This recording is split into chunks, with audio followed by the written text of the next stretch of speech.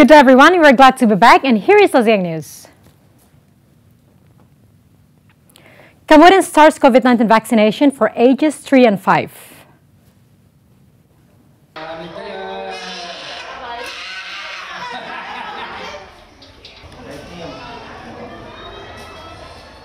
Cambodia starts vaccinating children as young as 3 years old against COVID-19, making it one of the first countries to cover the under 5 age group in a push to cover its entire population of 60 million.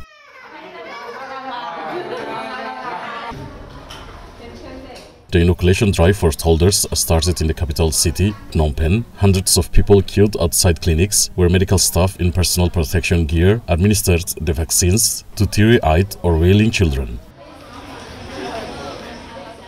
According to the Our World in Data website, the Southeast Asian country has vaccinated over 90% of its population, among the highest rates in the region, and in January started rolling out a fourth dose of high-risk groups. Overall, there have been 3,024 deaths and more than 127,000 infections in Cambodia.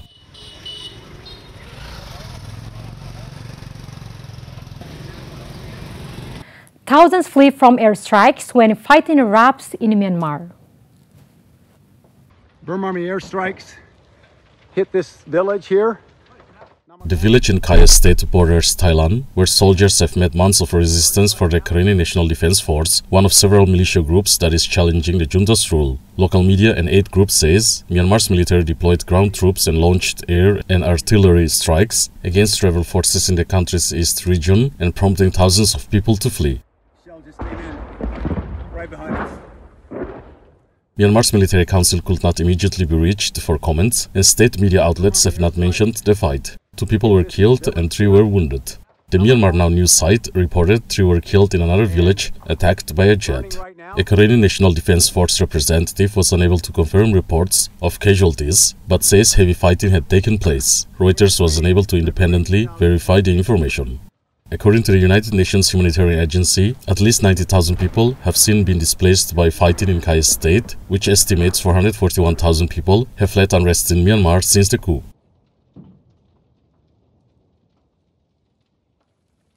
Philippine rural teacher takes class to the rural children.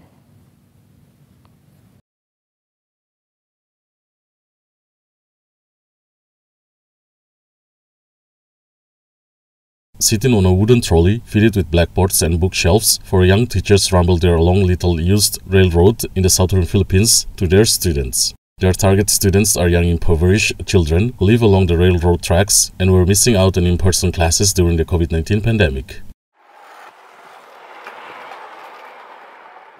The Philippines starts a phased reopening of schools in November after nearly two years of online learning, but many remained shut due to the Omicron variant.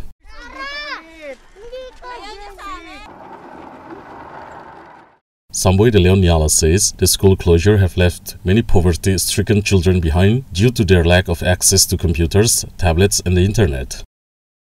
Nyala and his group of student volunteers push their trolley to up to three different neighborhoods in a day, three times a week, so that they can teach subjects like math and English to over 60 children.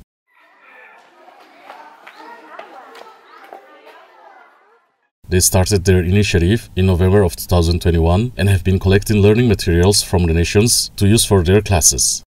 The Philippines has recorded more than 3.24 million COVID-19 cases and nearly 50,000 deaths overall. It reopened to foreign tourists in February even as cases surged because of the Omicron variant.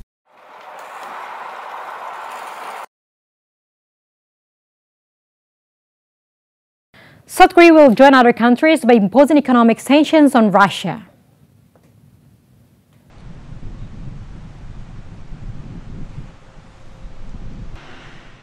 President Moon Jae-in says South Korea will join other countries by imposing economic sanctions on Russia over its military operations in Ukraine. 경우에도 정당화될 수 없다.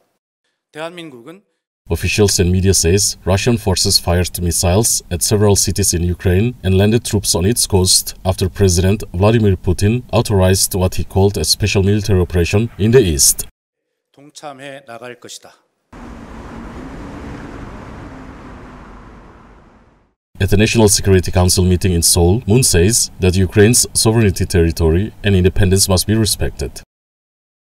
Seoul's Foreign Ministry spokesman Choi Young-sam says the country has been closely discussing countermeasures with the allies, including the United States, and have no choice but participate in sanctions, such as export controls, if Russia conducts a full-scale war in any form. South Korea calls for calm as COVID-19 cases reach new record.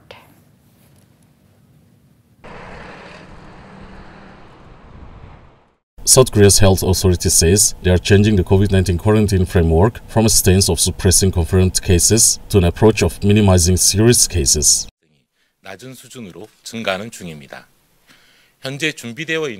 Deaths have slowly ticked up, reaching a new record of high 99, but South Korean authorities says real-world data shows people infected with the Omicron coronavirus variant are nearly 75% less likely to develop serious illness or die than those who contracted the Delta variant. 방역 체계의 패러다임도 확진자 억제에서 The Korea Disease Control and Prevention Agency says South Korea reported 171,452 new coronavirus cases, another daily record and a sharp increase from 99,573 a day before.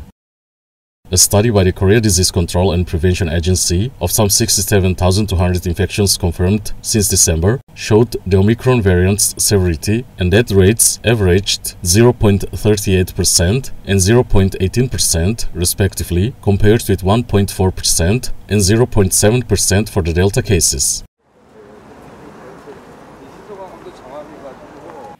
Chinese Foreign Minister held a phone conversation with Russian Foreign Minister on Ukraine issue.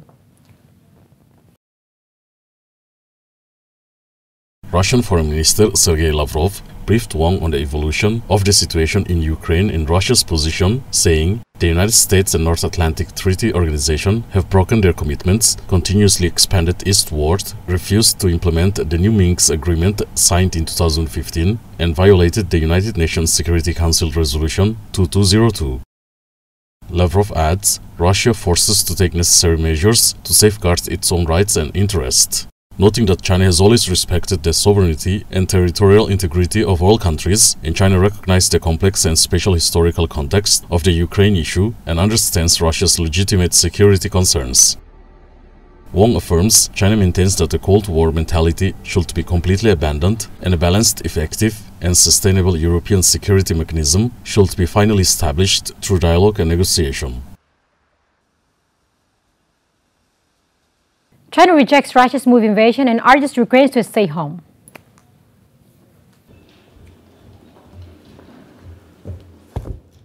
China rejects calling Russia's moves on Ukraine an invasion and urged all sides to exercise restraint and advised its citizens to stay home or at least take the precaution of displaying a Chinese flag if they needed to drive anywhere. 我可以告诉你的就是呢，中方正在密切的关注 Officials and media says Russian forces fired missiles at several cities in Ukraine and landed troops on its coast after President Vladimir Putin authorized what he called a special military operation in the east. During a packed daily media briefing in Beijing, Hua Chunying, spokesperson at China's foreign ministry, breathed a journalist characterization of Russia's action. 在乌克兰的中国公民和中资企业要。 China will release energy reserves in response to Russia's attack in Ukraine, which has sent oil prices surging. Hua says that all countries should work together to jointly protect global energy security.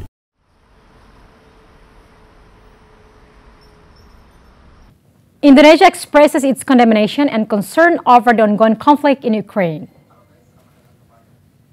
Prihatin atas eskalasi konflik bersenjata di wilayah Ukraina yang sangat membahayakan. Indonesia's foreign ministry spokesperson Teuku Faizasyah says Indonesia concerned about the escalation of the armed conflict in the territory of Ukraine, which seriously endangers the safety of the people and has an impact on peace in the region. He affirms the observance of international law and the United Nations Charter regarding the territorial integrity of a country, as well as condemning any actions that clearly constitute a violation of the territorial and sovereignty of the country. Also, it is about reaffirming that all parties continue to prioritize negotiations and diplomacy to stop conflicts and prioritize peaceful settlements.